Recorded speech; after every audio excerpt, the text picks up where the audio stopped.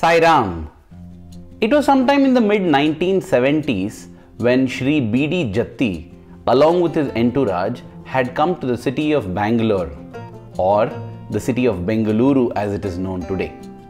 Shri B.D. Jatti at that time was the Vice President of India and he was accompanied by Shri Devaraj Urs, who was then the Chief Minister of the state of Karnataka, of which Bangalore is the capital, along with several other high profile people and ministers from the central government's cabinet.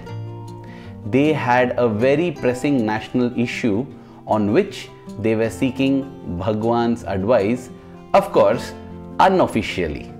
Because you know, politically we may have different stances, but in the heart, everyone needs God. The biggest of politicians, the richest of businessmen, the most influential and powerful of people, without exception, need God.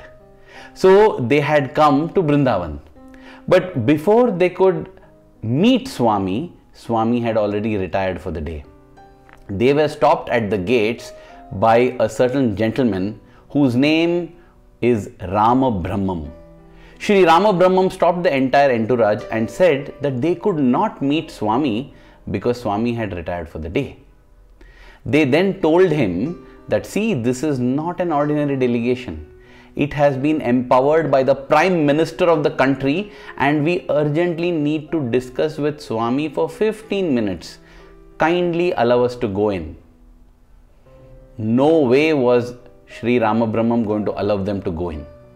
Then they requested him whether at least he could go in and tell Swami about the situation, and then they are ready to accept whatever Swami decides. He said, Sir, Swami knows everything, so there is no need for me to go and tell him anything. Once he has retired, he has retired, and neither will you be going in, nor will I be going in. Then what do you want us to do now? Return empty handed to the Prime Minister? Folding his hands and with all humility, Ramabrahmam told them, Sir, I would request you and your entire team to sit there in the darshan grounds and chant Sai Ram, Sai Ram from the bottom of your heart. The Lord will respond to your prayer. Well, Ramabrahmam is a legend. He is a devotee par excellence, an amazing servitor of Bhagwan Sri Sathya Sai Baba. He was actually a very prosperous businessman and a devout follower of the Sai Baba of Shirdi. Since 1945, he had been a devotee of Shirdi Baba. It was only in 1953 that he had his first darshan of Bhagwan Sri Sathya Sai Baba, and he was 51 years of age at that time. So, in the first darshan itself, when he was sitting there at Puttaparthi, Swami came to him and called him out, Rama Brahmam. And he wondered, how on earth did this Sai Baba know my name? But then, in a matter of two days, his experiences were phenomenal. On the third day, Swami actually called him into the interview room and gave him a chance to do Pada Puja, worshipping of his feet. And as Ramabrahmam worshipped Swami's feet, he had the darshan of the feet of Shirdi Baba. He had Shirdi Sai's darshan and he realized that the Sai whom he loved from the bottom of his heart was seated right before him. That was the great blessing that Swami conferred on Rama Ramabrahmam. But the greater blessing was the implicit faith and obedience that Sri Ramabrahmam possessed. And that was because for him it was Swami who was always the first priority.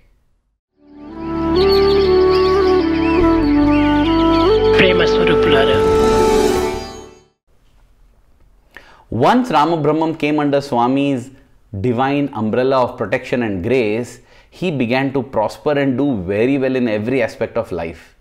He had a tobacco export business in which he flourished, prospered, and became extremely wealthy. But then there came the testing times in his life like it comes in every devotee's life. These testing times come in order to show the devotee what is important in life and what is not. As a secondary benefit, these times also present the devotee in a light so that he or she is inspiring for all the other fellow devotees and pilgrims on the path to God. In 1955, Rama Brahmam became very sick, and for almost a year, no doctor could diagnose what was wrong with him. In 1956, one year later, it was found that he had some severe trouble with his lungs. Interesting, right? a person in the tobacco export business, you know, which is possibly ruining hundreds of lungs, himself suffers from problems of the lungs? Well, not that I understand the working of karma very well, but Swami says if you sow a lemon seed, you get a lemon fruit. You sow an apple seed, you get an apple fruit. You cannot sow a lemon seed and get a mango fruit. As we sow, so shall we reap. And that is why it is so important that we follow Swami's words and be noble in all our thoughts, words, and deeds. Along with the health problems came financial problems for Rama Brahmam. His business went bust. He had to sell off everything in order to pay off the debtors. Soon, all his friends deserted him. Many members in his family also deserted him. He was all alone. But then he held on to Swami, and most importantly, Swami held on to him very firmly like a loving father and mother. And therefore, in 1963, when Rama Brahmam wanted to perform his youngest daughter's wedding, he did not have anybody else to turn to but to Swami. Swami assured him that he would conduct the wedding and told him to come over and settle in Brindavan at Whitefield, Swami's Bengaluru ashram. And that is how Rama Brahmam became the manager of Brindavan. Swami made him the manager of that Brindavan ashram.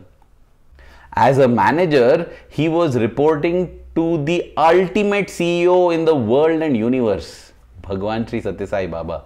He had four principles that he always followed. One, he treated the entire ashram and the work that he had been allotted as his own work, not as Swami's work. He didn't consider himself as an employee. He felt this is my own. That is the involvement and commitment that he put in. Second thing, he never would ask for any personal favors or any personal prayers from Swami because he felt that Swami knows everything. The third thing, follow Swami's advice and directions to the T. Every little bit without question, without doubt. And all these three were based on the fourth point, which is Swami is God. Don't ever forget that. ABC of life, always be careful. DEFG of life, don't ever forget God. It was based on these four principles that he did his entire work. And that is why, you know, so many amazing experiences. On one occasion, Swami just told Rama Brahmam that, see, your wife talks too much and she talks too loud. In the mandir, I am also getting disturbed. What Rama Brahmam did? That very day, he traveled along with his wife to his hometown in Vijayawada, dropped her off at the village. It was a 17 18 hour journey. Dropped her off there and came back the next day. and then, after a few days, Swami inquired, Ramabrahmam, where is your wife? Swami, she is back at the village. When is she coming here? I don't know, Swami. Again, after a few days, Swami would ask, When is your wife coming here? I don't know, Swami. When is your wife coming here? I don't know, Swami. Finally, Swami said, Rama Brahmam, if within the next one week your wife is not here, I will send you to where your wife is. That was when he again immediately traveled that entire distance and in a matter of couple of days his wife was back at the Brindavan ashram. That is the kind of priority Swami was given by Rama Brahmam. Swami's words are first. Swami's work is my work. That's it. That is all that is important. Nothing else matters. In fact, many years later, when it was the wedding of his granddaughter, Rama Brahmam gave the invitation card to Swami. Swami accepted it, read through it, but did not tell anything to Rama Brahmam. The number of days left for the wedding kept passing, and soon the wedding was upon them. But then Rama Brahmam was at Brindavan and he did not go for the wedding. On the day of the wedding, Swami asked Rama Brahmam, Why you did not go for your granddaughter's wedding? He said, Swami, I thought you did not want me to go because if you had wanted me to go, you would have told me to go. As simple as that. Swami was so impressed. Swami told everybody, Look, this is the quality of a true devotee. Swami made Rama Brahmam as an ideal example for all the devotees to emulate. Rama Brahmam had to go through another challenging situation when on the 3rd of June in 1964, his son Nagabhushan, second son, passed away. He died young. And this was told to Ram Brahmam by none other than Swami himself. Because at that time there was a cyclone and the weather was not fine in Andhra Pradesh and there was no communication possible between Vijayawada and Bangalore. So Swami told Ramabrahmam that this is what has happened to your son. Leave immediately to, with your wife to your hometown. But don't tell her about this till you reach the village. And that is how Ramabrahmam made this journey again with his wife back to his village 17 hours. And during the entire 17 hours, neither did he show the slightest sorrow, nor did he give a hint also to his wife about the passing away of the son. He his was such a state of surrender that he felt if Swami has said this and Swami has done this, it is for the best. Best of the son, best of the mother, best of me. Best for me. And then when they reached the village, that is when the mother got to know that her son was no more. She saw the dead body. She couldn't, her heart broke. She couldn't control her tears. She wept and wept. And Ram Brahmam consoled her, telling that Swami knew this and Swami saved you from suffering for these 17 hours when you traveled. And like a loving mother, he told me to tell this to you only after we reached the village. The next day, there was a letter for Ram Brahmam and his wife written by Swami. Yes, that is another interesting thing, you know. Swami wrote so many letters to Rama Brahmam. In fact, when Swami had gone to East Africa, Swami had left behind Rama Brahmam to take care of the Brindavan ashram.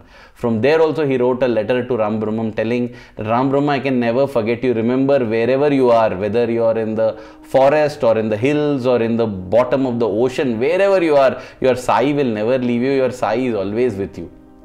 That is the love Swami has for Rama Brahmam. So back then in 1964 also, this was the letter where Swami assured both Ramabrahmam and his wife that your son Nagabhushan is with me, you don't worry.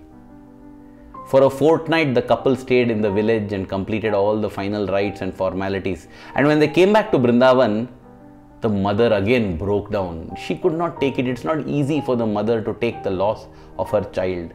She asked Swami, Swami, you said that my son is with you. Is he really with you? And then Swami looked at Ramabrahmam he was calm, placid, collected, no tear, no sorrow, nothing. Absolute devotee. Like how Hanuman was for Rama, possibly Rama Brahmam was like that for Swami. Swami then called the couple into the interview room and said, Look there. And what did this couple see? The mother's jaw dropped in amazement, for she saw sitting there calm and peaceful and lost in contemplation of Swami, her son Nagabhushan. The son's body, which they had cremated almost a fortnight before, that son was there. And the couple was convinced, especially the mother, was convinced that the son is indeed with Swami.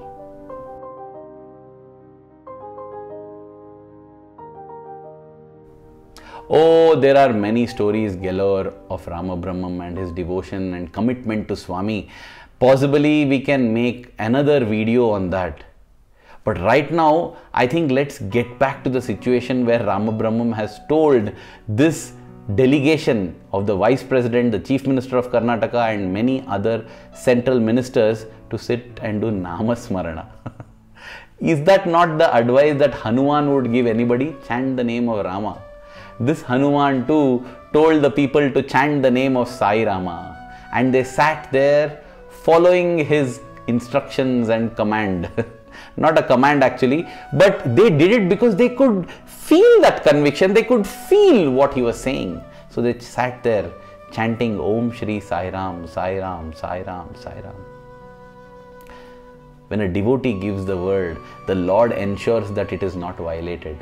Sure enough, within half an hour, the doors opened and out walked Swami. Swami came and told Rama Brahmam, What is it, Rama Brahmam? What is it, Brahmam? You have not allowed some people inside. Tell them to come in. Yes, Swami. And they were ushered in. We don't know what was discussed in that half an hour when all these high profile people were with Bhagwan. 1970s, the middle of them was tumultuous times in India, and from the emergency to whatever political situation, anything might have been discussed. But this much is sure that in the hearts of all those members who were there, it was firmly implanted that this is a Lord whom we can turn to for succor and help anytime in our life. And that experience was made possible to them because of the devotion and faith of the legendary Rama Brahmam. For Rama Brahmam, Swami always was first priority, and therefore, for Swami, Rama Brahmam was the first priority. Dear Swami, may we get inspired by the life and experiences of Rama Brahmam to make you the first priority in our life always. Thank you. Jai Sai Ram.